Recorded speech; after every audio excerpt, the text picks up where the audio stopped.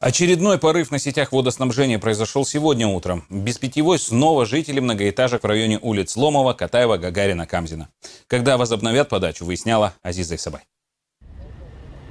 25 многоэтажек, четвертая школа и два детских сада с половины 11 безживительной. С момента устранения аварии на участке рядом с Катаева 93 не прошло и суток, как вновь выстроилась очередь к водовозке. Занятия в учебном заведении сократили, в водоканале сообщили. Питьевую на диспетчерскую доставляют пятью машинами. Заявили, причина повреждения все та же – изношенные сети. Предварительная версия – чугунная труба диаметром 250 мм лопнула напополам.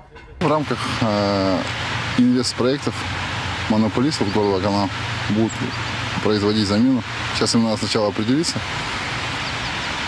на каких участках они в этом году проводить капитальные ремонты.